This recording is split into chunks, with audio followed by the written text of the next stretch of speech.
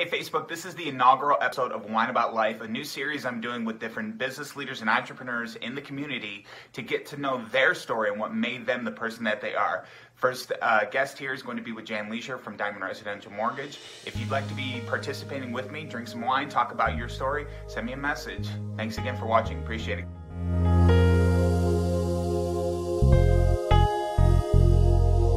Talk about what made Jan the person that she is the leader in this community uh, and just have her discuss a little bit about herself. So, uh, cheers, Jan, Yeah, and uh, cheers, thanks Nik. for Thank you. being part of the inaugural version of this.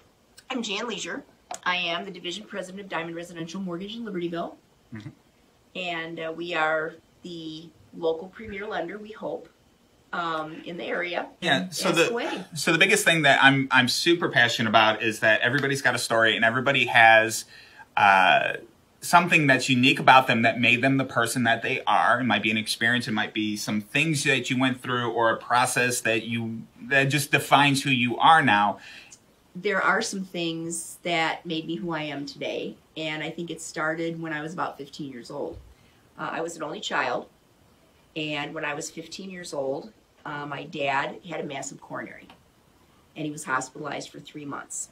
Simultaneous to that, uh, my boyfriend at the time, who was my childhood friend from the time I was two years old, was diagnosed with osteogenic sarcoma, which is a form of bone cancer Wow. and uh, I was instrumental in getting him to tell his parents that he was not okay, and uh, they got him to the doctor. The doctor saved him. My dad was saved, but I spent about a 90 day period before my 16th birthday uh, in Lutheran General Hospital visiting them, and you know, hoping that they were going to be okay, being their cheerleader.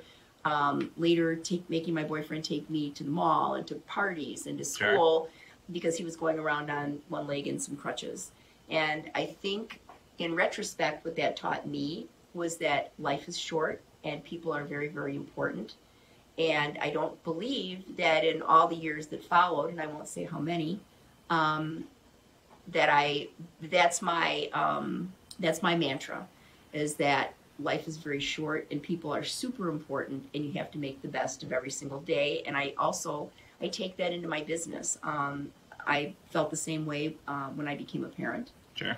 and I give a thousand percent to everything that I do, to my family, to my um, to my employees, um, and to my clients.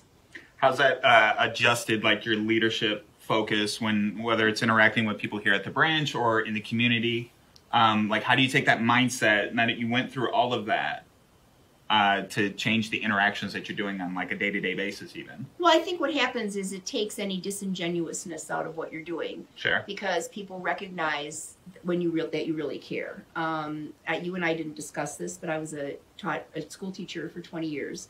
I taught junior high school English for 20 years before I got into this business, and I also was a um, was a college instructor. I taught college English, principles of real estate for another 10 years, and um, I was also a syndicated columnist for 35 years, all simultaneously. Sure. Even- or I would turn to dust in front of you on this on this video. But I've done a lot of different things, and I try. I've I have had the same the same mindset um, throughout my entire career, and and all the many different hats that I wear and have worn in the past. Um, and the best advice that I could ever give to anyone is to take a step back, get to know your family and your Sure. customers and your parents and your children and your um, your local merchants. And you know, if people can recognize how much you care about them, I think you get not only more out of your business, but you get more out of your life as well. Because of the things that you went through, that you were able to share your life experiences with somebody to make a difference for somebody who may not or may have been starting to go through something like that, where you, really made an impact. So maybe it was with teaching, maybe it was with uh, even doing the mortgages, but where somebody needed you to carry that load for them. Like you, you needed to carry that load for them. Well, for and you were able to sure, for sure, it was with teaching. Um, I I had 36 kids in a class, six classes a day. So the Sure. people, people that are complaining when they have 15 students in a class, you know, and they're overloaded, I can't relate to that. Um, but not only, I mean, this wasn't just a lesson; it's a it it's an honest interaction with people because I really I really did care. I think kids, even the difficult kids, could. Um, could tell how much I cared about them, and I and I still do, and I'm still in touch with so many of them uh, throughout the year. I do have one um, one very emotional story that has to do Sure. with the mortgage business. So when I had been a loan officer for um, probably probably less than a year, I was approached by uh, a Hispanic family from Waukegan who were losing their home. They were losing their home to foreclosure, and they had a son uh, who was in a wheelchair, and he um, he was very very incapacitated by cerebral palsy.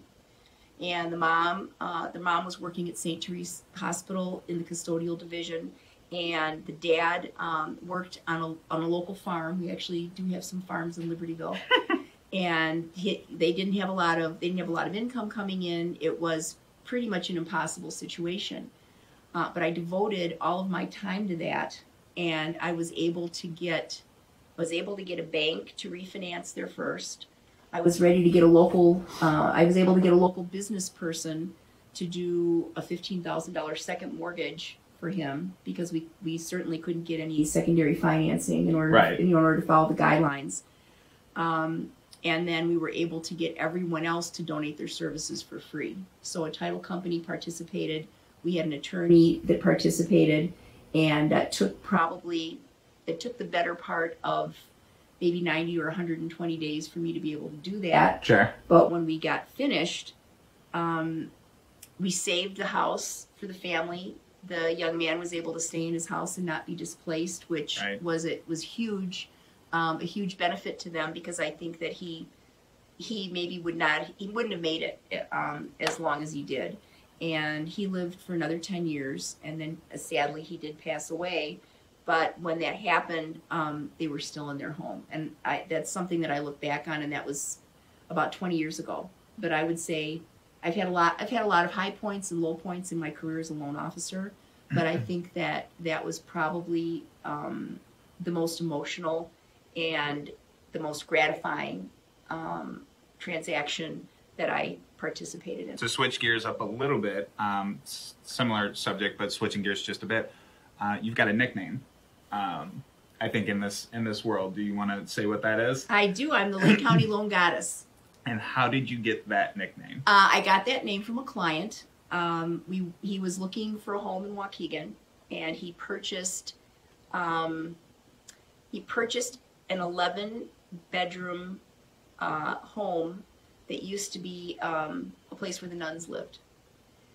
And his plan was actually to make it into kind of a big house, like on on the theme of the Friends uh, television show, you know. And that again was a very that was a very difficult transaction. Sure. Uh, the place had old boilers and it's a very old home, and we had to negotiate with the priest, and the priest liked me, so we were able to you know we were able to get the boiler replaced. and Okay, get- makes more get- sense yeah, now. Get some of this. Oh, I, I don't you'll make me blush. Um, we were able to get the boiler replaced and get the roof replaced, and he purchased it. This is a little while ago for one hundred fifteen thousand dollars. Um, he Sure. never he never was able to get a permit from the city to actually um, culminate what his project was going to be, but he had the house for a very long time. And by the time when we got finished and we were at the closing, he said, "You are a loan goddess." so I took it. Anything else you want to say about uh, what do you offer unique to this community that could be of interest to anybody who's watching this video that maybe even a little bit more niche? So you do amazing mortgages, and as you said in the beginning, uh, love to be everybody's go-to. But like, is there anything niche that you do that might be unique? So even if they have a guy, well, Jan does this though, so I, I think I should call her about this. Yeah, I do. I do a couple of things, and most recently, I went back to school. So I do have a bachelor's. I do have a master's. So I have, as far as education is concerned, I do have a lot to offer to my clients as far as problem solving. And this is a business of problem solving. Um, you know, you can go on the internet sometimes if you're lucky, and you can get a mortgage if you qualify. And they're, they're, mortgages are kind of tricky to do.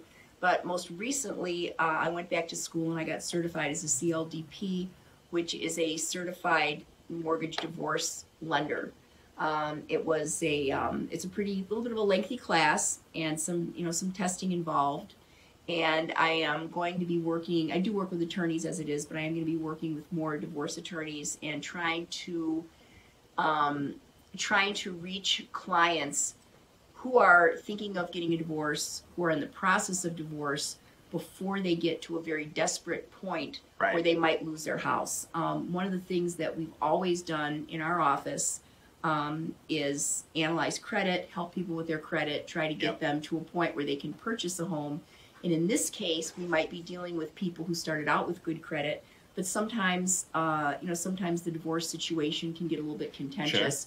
People decide that they're not going to pay their pay their mortgage or pay their Yep. bills because they're angry, and we try to Or to- even I've heard of times where like there's a structured plan that it's supposed to be paid a certain way, and a trustee doesn't pay it or something like that, and it messes with somebody's Well, credit as well. sure. When everyone's trying to do it by the book, so the, yeah, there's Right, unique we're- circumstances. we wanted we want to build a good team and be a part of a number of different teams so that we can um, we can create a situation where people can not only stay in their homes but they can retain their credit so that when they do go their separate ways whether they keep their home sell their home you know move on to another situation that they don't have to wait seven years because they had a foreclosure or they had a bankruptcy on their credit and they can't really start over because i think that that only and i am i am divorced so I think that Sure. that only adds, um, you know, more pain to an already painful situation. Well, at least if uh, nobody wants to go through that situation, but knowing that if you're working with Jan, that she does know that that situation uh, firsthand. So I think that's that might help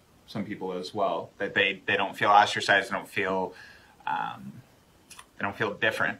That you know this painful event's going on. So that's I, I good. appreciate I appreciate that, and I think that having gone through that experience, um, you're right. Having gone through that experience does give you a unique perspective, um, and not only not, not only can we do a compassionate loan. You know, I don't. I, I have never heard that before, but Sure. you know, I think we can do a compassionate loan Right. Um, there's a lot of empathy involved, and there's also a lot of hard work involved in that too. So the borrowers, uh, the borrowers, the couple that's getting divorced, their attorneys, everybody has to be a part of the team for the best interest of the people. And I think that that's um, that that's critical. Good. How would people try to get if they wanted to get a hold of you? What's the best way to do that? Uh, the best way to do that would be to call our office at 847 362 1335. I can be reached by text on my cell phone. I can be reached by email. I'm very easy to find. So if you Google Google Jan Leasure, L E A S U R E, Or probably loan or goddess Loan too. Goddess, yes, or Lake County Loan Goddess. Hey guys, thanks again for watching the Wine About Life series. If you're a business leader, community leader, or entrepreneur and you want to share your story about what made you the person you are, send me a direct message. We have a subscription to Gary Vee's Wine Empathy Club, and so we're going to be sampling those as we talk about your story and what made you the person that you are. Again, send me a direct message and we'll get you on the show. Thanks again, guys.